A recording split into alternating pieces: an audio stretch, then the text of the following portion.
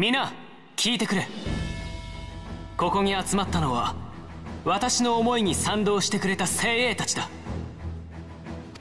我々暁の血盟と意志を一つにしこれからのエオルゼアを守っていくために先鋒となることを選んだ勇者たちだ。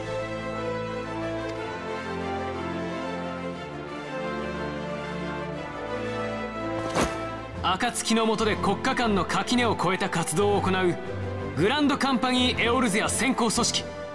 クリスタルブレイブの設立を今ここに宣言する。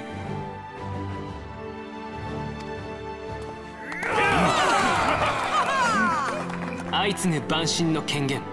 蛮族との確執。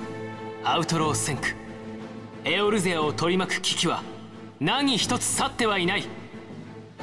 だからこそ我々は先駆けとなって立ち上がる。我々は暁の血盟とともにエオルゼアの守護者となるのだ。全てはエオルゼアのために。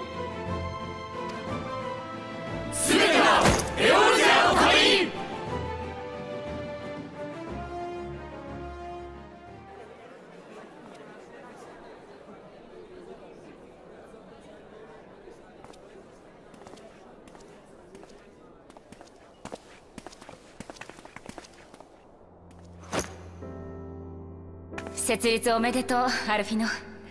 あいえクリスタルブレイブ総帥アルフィノ・ルベユール殿。やめてくれたまえ。形だけの称号だよ。それ自体に何の意味もないさ。我々の目的は同じだ。神々に愛されし地このエオルゼアの救済。共に尽力していこう。ええこれからもよろしくね。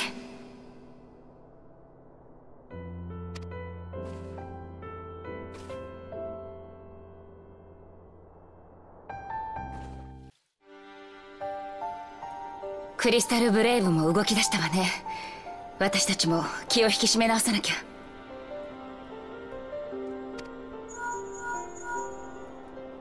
い私です。やはり委員会本部は消滅していたのね。でも島一つを消し去るなんて一体どうやって？それは本当なの？本当にクルルが見つかったのね、はあ、よかった。そう。状況は良くないのね。ウリエンジェさんには伝えておきます。また後で連絡するわね。ええそれじゃ。バルデシオン委員会本部の調査団からの連絡よ。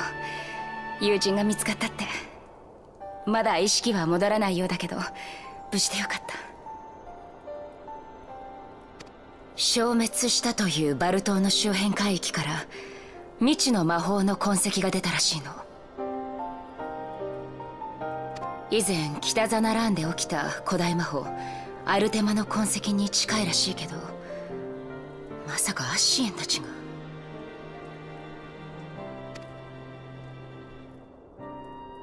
ガレマール帝国との戦いの後マザークリスタルハイデリンの声を聞いた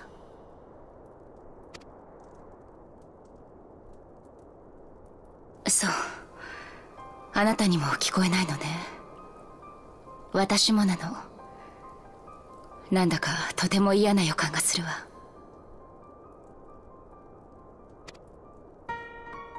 ルイゾワ様どうか暁をお守りください。